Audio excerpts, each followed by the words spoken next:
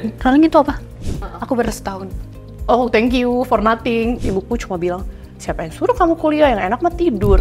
Halo Women Babes, aku Kalin and this is my first interview. Jujur aku deg-degan banget karena ini adalah interview pertamaku, tapi at the same time aku juga excited karena aku bakal ngomong sama Kak Marcella. Nah, siapa sih yang nggak tahu Kak Marcella? Kak Marcella itu penulis, bukunya udah dijadiin film, contohnya nanti kita cerita tentang hari ini. Siapa sih nggak tahu film itu? Nah, tapi Kak Marcella juga ada banyak buku-buku yang bagus, nggak kalah keren. Kayak Tabi, ada generasi 90-an, dan masih banyak lagi. Oke, halo, Halo, Marcella. halo. Kamu tahu banyak ya, sudah ngestok ya. Aku sebenarnya ngefans banget sama Marcella. Ah, bisa aja kamu.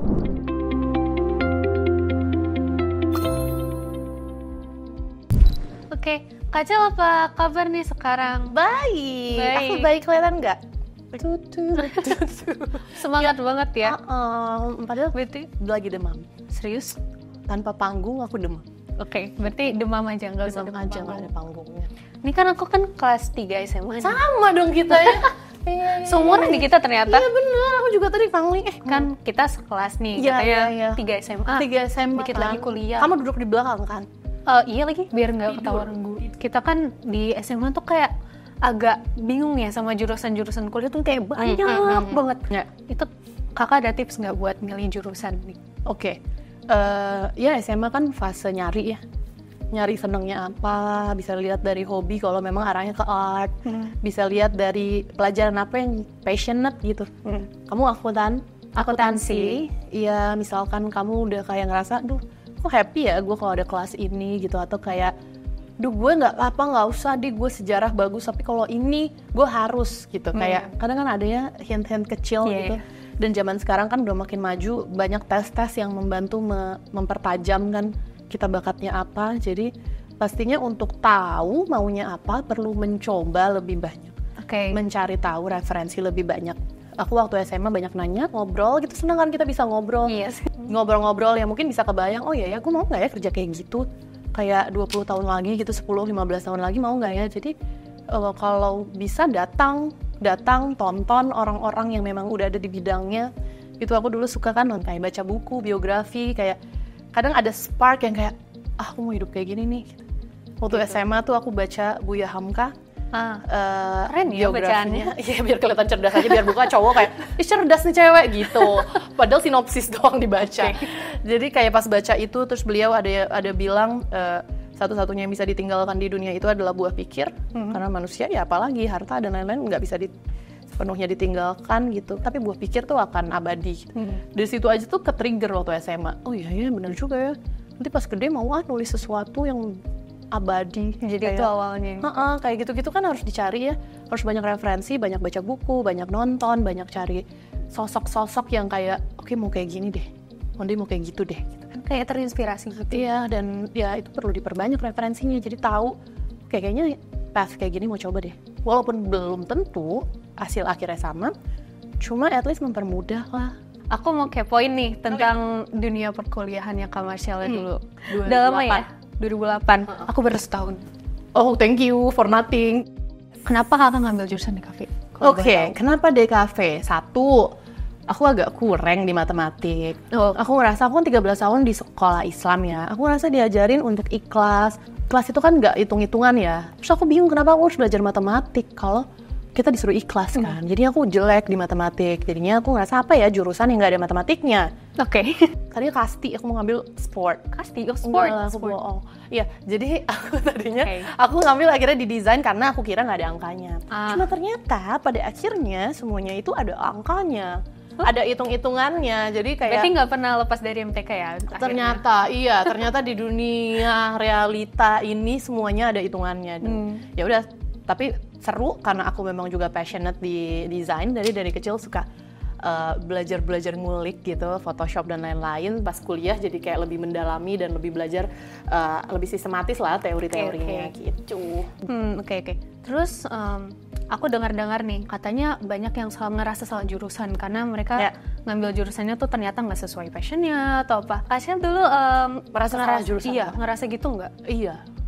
Karena Terus copingnya gimana? copingnya gimana nih? jadi ya kan SMA kan ya jelas ya patternnya kita ujian lulus naik kelas enggak lanjut gitu aja berulang belasan tahun kan Iya. dari TK sampai SMA. Nah pas kuliah kan cukup beda. Jadinya pas kuliah cukup jet lag. Jadi semester 1 tuh kayak nangis-nangis. Kayak capek banget kuliah karena kan dalam satu minggu tugasnya lima kayak harus kejar-kejaran beda-beda mata kuliah dan banyak manual. Jadi kayak di tahun pertama tuh aku bilang sama mami, mama aku capek kuliah gitu. Terus ibuku cuma bilang, siapa yang suruh kamu kuliah yang enak mah tidur. Terus dari situ aku agak kayak Oke. terpacu kayak iya juga ya kayaknya nggak ada yang gampang memang di saat udah tambah dewasa tuh banyak hal nggak mudah dan memang harus dihadapi. Kalau kayak gini nih dari pengalaman kakak tadi, menurut kakak apa sih hal yang mungkin bisa kakak share Hmm. biar kita pas kuliah tuh nggak clueless? Clueless, tapi itu pasti ya clueless tuh pasti ada kan fase-fase kayak first time gitu ya, Heeh, Kak. kayak banyak hal baru, banyak bentuk-bentuk yang nggak pasti kan. Mm-mm. Saat kuliah kan makin dekat sama realita ya. Saya SMA kan ya udah kita ngelakuin ke mana sih, tanggung jawab, main gitu. semuanya udah diaturin, Iya. eh, kurikulumnya udah ada, kita tinggal jalanin aja semaksimal kita sampai kuliah. Menjelang kuliah kan lulus tuh kita semua orang bisa jadi apa pun gitu. Kita ngatur hidup kita masing-masing. gitu. Dan pasti ada cluelessnya, aku ada hari-hari di mana nangis-nangis kayak mau ngapain ya nanti ya, aku lulus bisa jadi apa ya, aku bisa apa ya, IP aja 1,8, apa yang mau di, diusahakan, kayak kayaknya aku bukan orang yang bisa jadi sesuatu deh. Dari situlah aku kayak mikir, iya ya kok aku jadi judgment pertama untuk diriku sendiri ya, aku aku kayak aku sendiri aja nggak percaya sama diri aku waktu itu, kayak iya ya siapa yang percaya nanti ya. Kalau diri bukan diri sendiri aja gitu. nggak trust sama apa yang kita mau kejar. Dari situlah mu- mulai nyusun, oke, apa ya kemungkinan-kemungkinan apa yang bisa dijalanin ya kalau lulus. Oke, cari apa ya? Aku tuh happy dan skill aku bisa berguna untuk eh, banyak orang tuh di apa ya? Wah, aku suka ya ternyata nulis-nulis walaupun waktu itu masih EYD-nya salah. Kayak, oh ternyata tinggal aku betulin ya. Aku ternyata suka ya menerjemahkan perasaan yang nggak bisa verbally aku sampaikan ke orang. Nulis tuh kan mengurai yang kusut ya. Setuju sih. Jadi kayak pas lagi, kamu suka nulis sih? Iya, aku suka nulis. Oke, kita akan share tulisannya. Kakak tadi kan ada interest juga kan Hmm. awalnya buat jadi penulis gitu. Ya. Terus kakak gimana caranya kayak ngembangin passion itu buat beneran jadi Hmm, aku tuh tadinya kira aku tuh nggak punya passion. Kayak kan orang ngomong passion pada era 2012 tuh semua passion, kejar passionmu. Terus aku kayak, apa ya, aku mau kerja yang dapat duit aja sih, yang bisa hidup gitu. Oke. Aku waktu itu kayak skeptis, kayak, ah passion mah nggak bisa menghidupkan aku gitu. Cuma akhirnya aku tahu kayak spark gitu, kayak spark of life. Kayak apa yang buat hati kita tuh kayak gremet, ada sparknya kayak. Nah itu akhirnya aku cari, kayak kan pada akhirnya manusia tuh pengen bermanfaat ya apa pun bentuknya seringnya gitu dan akhirnya tinggal nyari apa ya di mana tempat bidang apa yang ada sparknya di aku yang aku mau nyampein ma- manfaat di bidang itu. Jadinya ya itu udah ganti-ganti profesi sebenarnya. Aku kayak setelah 10 tahunan berjalan aku lihat benang merahnya oh ya ya aku aku suka banget lagi art gitu. Karya seni gitu karya seni kreativitas aku suka banget. Di situ tuh ruang main aku kayak oh iya ya saat aku jalanin panjang walaupun rasanya kayak ah kok semua yang dijalanin gitu-gitu aja ya. Aku kayak ya udah dulu jadi desainer ya gitu-gitu aja duit juga nggak dapet tipesnya dapet gitu kan kayak kayak rasanya mau berhenti ya berkali-kali mau berhenti. Cuma kayak apa yang bangun pagi masih mau dilakukan. Alasannya beragam ada orang yang alasannya memang untuk eh, kebutuhan pokoknya untuk finansialnya atau alasannya memang ya dia butuh spark di hatinya untuk bangun lagi besok hari gitu. dan ya dua alasan itu perlu di, dicari lah balance-nya di mana. Terus em, apa yang paling kakak suka jadi penulis nih? Apa sih yang paling suka bikin kakak masih cinta? Menulis tuh karya seni yang menurut aku salah satu yang paling mudah. Kayak tinggal butuh pulpen sama kertas ya terus langsung Iya bisa bisa. Kita cuma butuh diri kita kepala kita pulpen sama kertas gitu atau kalau butuh laptop gitu. Perubahan juga bisa. Bisa. Dan kayak satu-satunya lawan aku cuma diri aku kemalasan aku doang. Iya. nah itu karena paling mudah aku suka. Mhm. dan kayak semakin nulis tuh semakin kenal diri sendiri gitu loh. Kayak kenal manusia aku tuh suka banget kompleksitas manusia. Si manusia tuh unik ya lucu ya end up-nya manusia tuh rumit kompleks dan itu serunya gitu. Tapi kan sebenarnya nulis tuh nggak gampang ya pada dasarnya. Eh, terus em, Gimana sih kakak bisa kayak percaya diri sama karya ya. yang kakak buat?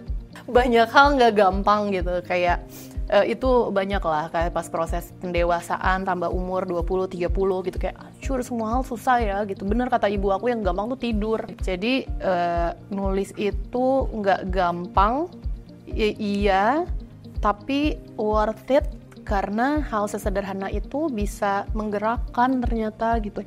Ada keputusan-keputusan kecil di hidup orang yang setelah dia nulis dia lakukan gitu. Dan apa yang bikin confident sampai hari ini aku juga masih ada insecure kok perempuan ya. Perempuan gitu setiap karyaku aku nangis sebelum rilis sebelum naik cetak tuh nangis terus sampai karya terakhir ini 2023 2023 akhir rilis masih kayak "Oh, bagus nggak ya? Ini bisa nggak ya? Orang bisa terima nggak ya? Orang ngerti nggak ya? Gitu. Selalu ada ketakutan tapi aku tuh ternyata lama-lama jadi kayak menikmati rasa takut itu. Kayaknya kalau nggak ada takutnya aku jadi kayak ngerasa udah sesuatu aja deh. Kayak udah keper, terlalu percaya diri dan jadinya gitu. aku nggak bisa improve. Karena kayak ah udah lah gue bisa. Karya gue sebelumnya laku gitu. Kayak saat aku ada takut ada insecure-nya berarti aku kan mau ngasih yang terbaik mau ngasih yang terbaik yang aku bisa dan di saat itu sudah terjadi harusnya aku bangga sama diriku. Kita bangga sama diri kita udah gue lakuin yang terbaik. Takutnya masuk akal mengecewakan orang standarnya takut mengecewakan orang takut dinilai apa takut dinilai apa. Terus ternyata pas dilewatinnya nggak gitu-gitu banget sih. Hmm. kadang kepala kita lebih seru dari realitanya. Nah, tapi itu tuh kayak biggest inse- insecure kakak nggak sih? hmm enggak biggest Apa insecure ya. mati sia-sia sih. Wah, Oh deep iya. ya. Mati sia-sia tuh kayak cukup menakutkan buat aku. Kayak udah selesai gitu. Nggak ada hal yang bisa aku kontribusi di dunia ini gitu. Jadi yang sekarang aku lakukan adalah berusaha keras untuk kasih meaning ke hidup aku sendiri ke orang dekat yang aku sayang ke orang ya pembaca aku gitu. Ya biar akhirnya ya nggak mati sia-sia gitu. Aku Ya. pengen dong tips biar aku kayak aku pengen muka glowing pasti. Mhm. Tapi aku juga pengen punya kayak glowing future gitu. Hmm. Kayak kakak kayak karirnya glowing terus terus pekerjaan kakak glowing, muka kakak glowing, siapa sih nggak mau? oh nggak nggak enak nih ada calon mertua aku nonton juga apa ya glowing tips feature. Hmm. glowing feature ya Glowing face, glowing future. Oke oke oke. Ya perempuan kan pasti ini khususnya untuk perempuan. Eh, pasti kita punya tuntutan untuk merawat diri luar dalam. Hmm. Karena pasti terpancar hati yang kurang sincere akan terpancar di wajahnya. Jadi aku selalu concern dengan memperbaiki diri dari dalam dulu. Dan kalau ngomongin glowing feature, aku selalu merasa yang menyedihkan kadang perempuan tuh kadang mengecilkan dirinya lebih dari penilaian orang-orang kepada dia kadang kita tuh kurang meyakini kalau diri kita tuh sebenarnya kuat sekali punya kemampuan yang luar biasa karena dikecilkan jadi kayak ke repress gitu loh. Kayak pinginnya juga meyakini kalau kita bisa ngejar apa pun yang kita mau. Kayak harus memulai hidup dengan keyakinan kalau apa pun yang kita mau pasti sampai ke sana. Jadinya itu akan terpancar di luar gitu. Aduh, pengen deh. pengen. Kamu pengen tapi kok kayak ragu gitu kayak nggak pingin? Pengen, deh pengen gitu coba. banget. pengen deh. Aku pengen. oke gitu bagus jadinya ya harus diyakini lah kalau kita tuh sebenarnya bisa sampai ke mimpi kita Next question nih. Hmm. Ada nggak pesan yang mau kakak sampaikan Hmm. ke perempuan-perempuan yang mungkin lagi nonton ini? ini udah ending nih udah pesan-pesan ini udah ending Belum. oh belum oke oke pesan ya udah Iya lagi. udah ending Udah, udah oke ending ternyata. Oke, apa ya kalau aku bisa balik ke umur du- 17 tahun tahun 2007 2007 17 tahun eh, banyak takutnya, banyak insecure-nya, banyak pengen jadi apa, pengen jadi apa yang nggak diri kita, emang pasti belum otentik, belum tahu diri kita siapa kan, masih cari identitas. Aku akan banyak belajar karena satu yang mungkin sekarang mulai memudar itu api kayak api untuk kayak mau tahu ini, mau ikut ini, mau kenal ini, mau belajar ini gitu. Jadi kalau masih sempat, masih ada waktunya belajar. Sekarang di mana-mana bisa belajar di YouTube ada banyak kelas gratis, banyak penulis-penulis atau filmmaker atau apa bidang-bidang lain yang bisa dikenal, dicari tahu. Jadi nantinya ya di lulus kuliah jadi tahu kayak oke aku mau hidup yang kayak gini nih kayaknya. Gitu. Walaupun sampai akhir tidak pernah tahu, cuma at least kita udah memaksimalkan titipan yang maha kuasa. Berarti yang penting kita harus coba semuanya. Ya, kecuali yang negatif. Ya, maksudnya yang positif-positif aja. Iya, betul. gitu. Ini kayak kamu berani datang ke sini tuh aku belum tentu berani umur kamu loh. Kayak aku nggak bisa, aku udah menangis pasti aku kayak aku nggak mau kakak gitu aku bilang ke dia. Nggak mau, nggak mau lu aja, lu aja gitu. Jadi kayak salut, salut, salut, salut, salut. Semoga kamu berani hal-hal baru lainnya ke depannya. And it's official, aku udah ngelewatin my first interview. Dan jujur tadi aku ngobrol-ngobrol sama Kak Cel banyak banget yang bisa aku dapetin, bisa aku implementasikan ke dalam hidup aku. Um, and I can't wait to be my best version myself. Jadi thank you kau udah Terima kasih sharing. banyak. Tepuk tangan atas keberaniannya. Hebat, hebat, hebat, hebat, hebat. Oke, jadi itu kayaknya akhir dari interview kita sama Kak Sel. See you on the next my first interview. Bye bye. Bye bye. Terima kasih. Bye bye.